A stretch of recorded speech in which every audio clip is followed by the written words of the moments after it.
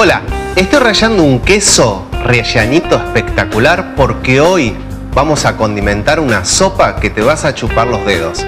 Acompáñanos. Para esta sopa crema de calabazas vamos a utilizar cebolla morada picada, puerro en juliana rehogados con un buen aceite de oliva, un excelente rellenito rallado, calabazas, queso crema y sésamo. Lo primero que vamos a hacer en esta preparación es cocinar nuestras calabazas en horno a 200 grados, 220 grados, boca abajo, hasta que estén bien tiernas y dejarlas entibiar. Por otro lado, comenzando ya la sopa, vamos a colocar un chorrito de aceite de oliva, la cebolla picada y el puerro en juliana, bien lavado, y vamos a rehogarlo.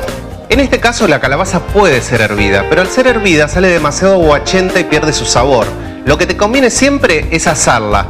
De última podés hacerlo el día anterior, dejarla en la heladera y después vamos a retirarla con ayuda de una cuchara, de esta forma, y vamos a, a licuarla o a procesarla con caldo de verduras.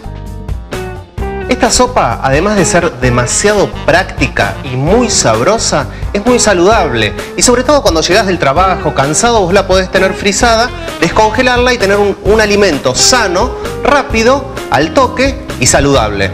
Vamos a echar el licuado de la calabaza que fue cocinada al horno con el caldo dentro de la cebolla morada y el puerro salteado.